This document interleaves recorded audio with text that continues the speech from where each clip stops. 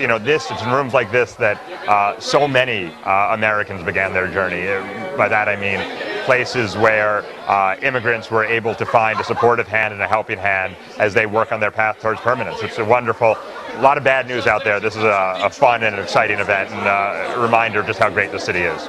They brought here people who speak several languages, even the Haitian Creole.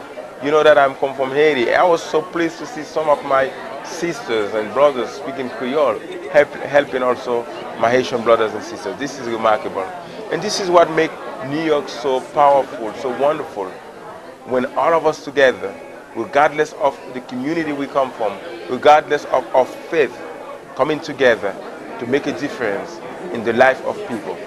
Alan and this CUNY project have been partners of ours for, for several years now. We work together on a number of of um, immigration related issues and uh, I wanted to come and see and hear just what questions the public is asking the, the um, your experts and kind of to be able to compare and contrast to what they come and ask us.